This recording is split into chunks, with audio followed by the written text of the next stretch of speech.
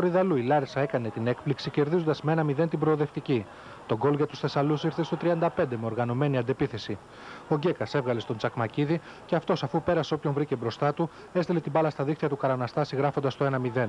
Στις καθυστερήσεις του πρώτου ημιχρόνου η ομάδα του Γιάννη Αλεξούλη έφτασε κοντά στο 2-0 όταν ο Τσακμακίδης έβγαλε στο μάγκο και αυτός μόνος του απέναντι στον Καραναστάση δεν μπόρεσε να στείλει την μπάλα στα δίχτυα.